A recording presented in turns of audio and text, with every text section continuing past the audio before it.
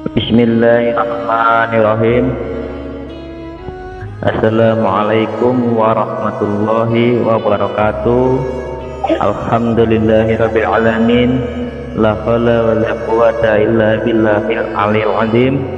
Allahumma sholli ala sayyidina Muhammad wa ala ali sayyidina Muhammad. Ashhadu an la ilaha illallah wa ashhadu anna Muhammadan abduhu wa rasuluh. Amma ba'du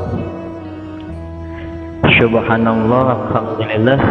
Wahai sahabatku Izinkanlah hari ini Al-Fakir akan men-share setitik keilmuan dari Allah Yaitu Sholawat Rajah Alam